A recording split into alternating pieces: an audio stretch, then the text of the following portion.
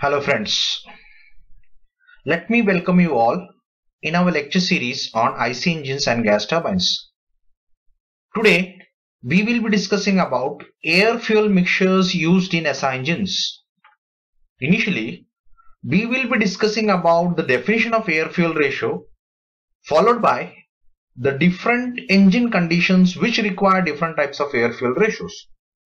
Then we will be discussing about the types of air fuel ratios used in SI engines followed by the different values of air fuel ratios used in SI engines and the inflammability limit for gasoline fuel as used in SI engines.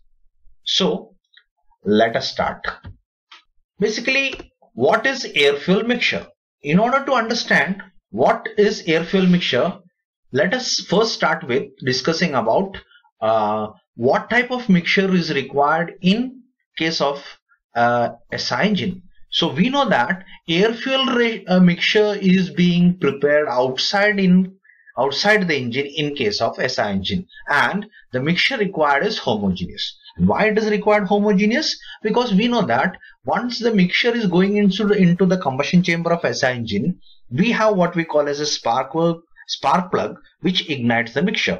So this spark plug is located at one corner of the combustion chamber and the flame is going to start over there and we expect that that particular flame is going to travel throughout the combustion chamber and in order to ensure this particular continuous traveling of the flame in the combustion chamber we require homogeneous mixture so that is where the homogeneous uh, nature of the mixture becomes important in case of SI engine. And we also know that these SI engines are preferably of the high speed category.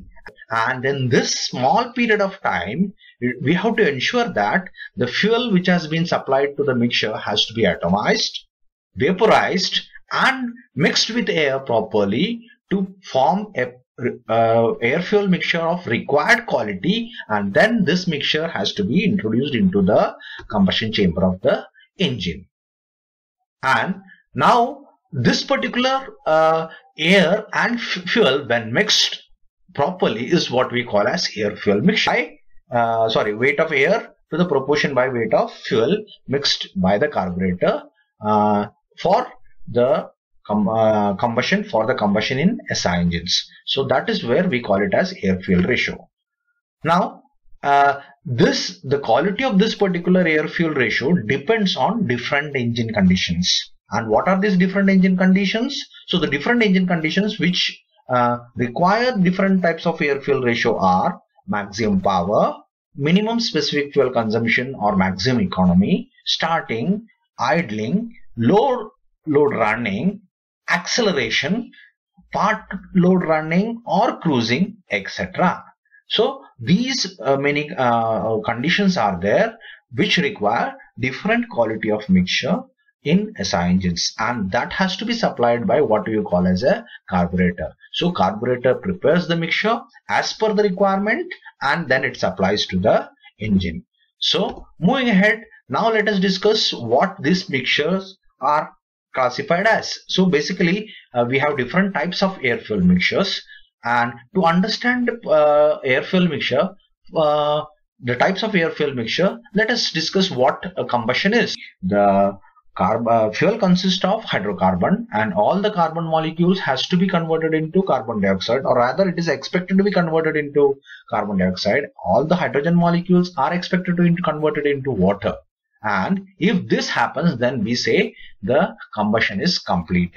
So if you want uh, combustion to be complete uh, it means all the hydrogen and all the carbon uh, molecules has to be converted into water and carbon dioxide. And uh, this requires that uh, this uh, requires that whatever amount of carbon is there proportionally we require to supply oxygen and whatever hyd hydrogen is there proportionally again we require to supply oxygen. So depending on what is the amount of hydrogen and carbon molecules in the fuel we also requires uh, proper amount of oxygen molecule for complete combustion. That is where the uh, the need of the proper air fuel mixture comes into picture. So depending on the amount of air mixed in the air fuel mixture we classify the engines uh, as stoichiometric air fuel mixture, rich mixture or lean mixture.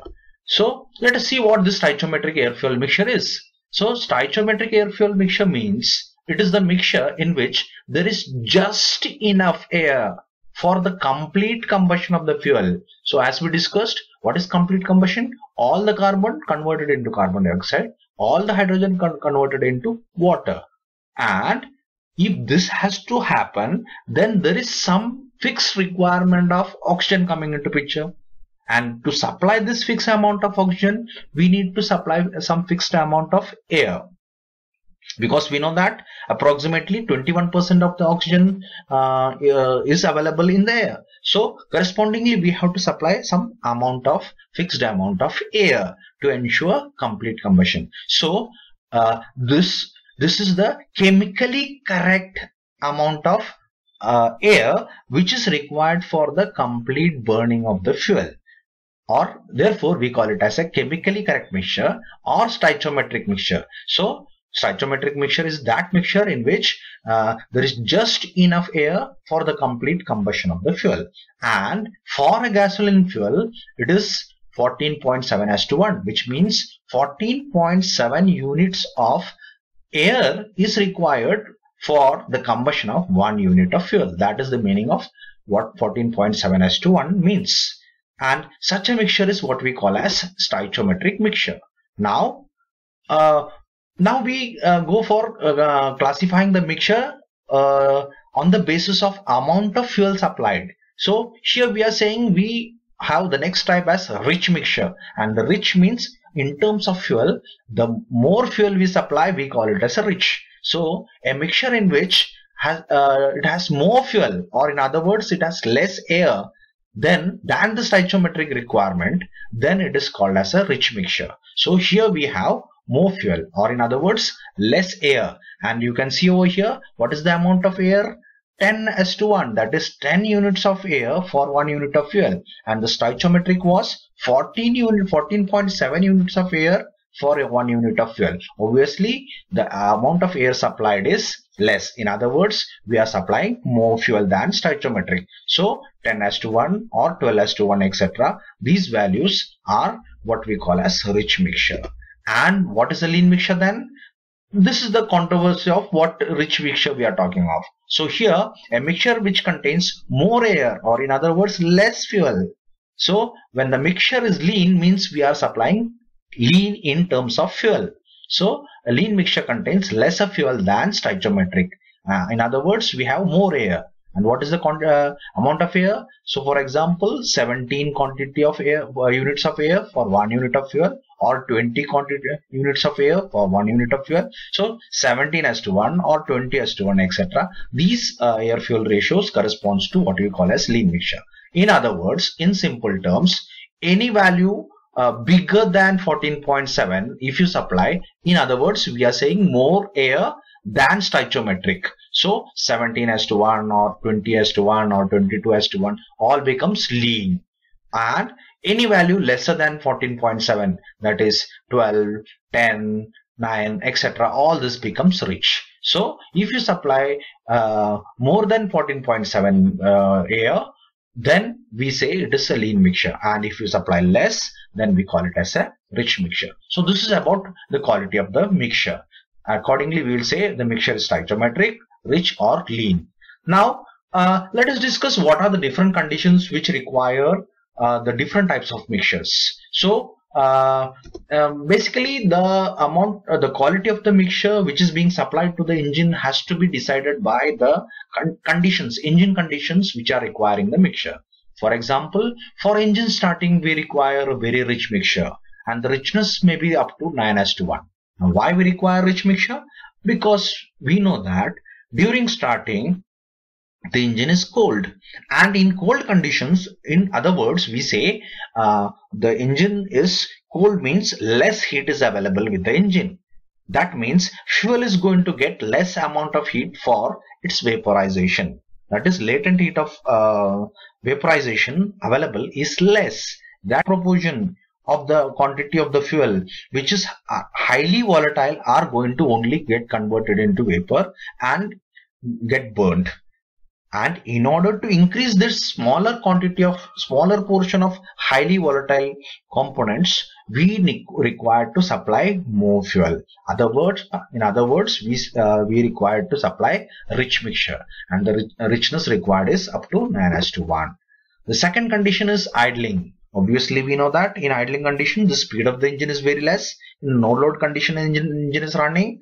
The accelerator is at zero position and therefore uh, the speed is less. And when speed is less and if you want to sustain the firing then every stroke we need to uh, produce that much power which uh, are uh, which is required to sustain the firing. Obviously uh, we require rich mixture over here and the richness required is up to 12 as to 1 in during acceleration obviously within a short period of time we require to move the vehicle uh, at a higher speed and therefore um, the amount of power required will be more and we require a rich mixture.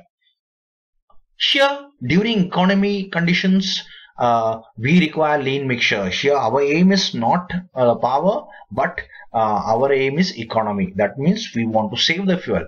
So here we, we will be supplying lean mixture. So economy uh, conditions require lean mixture. Then we have something called as a power condition. So whenever we require power, we will be supplying rich mixture. Now, uh, is it that uh, you supply the engine any quality of mixture and it is going to burn? Let us discuss about that. So the answer is no. So there is what we call uh, the term coming inflammability limit. And what is this inflammability limit? And here as shown over here, here we have 9s to 1 to 19s to 1 shown as inflammability limit. And on this side it becomes too lean to burn and here it becomes too rich to burn.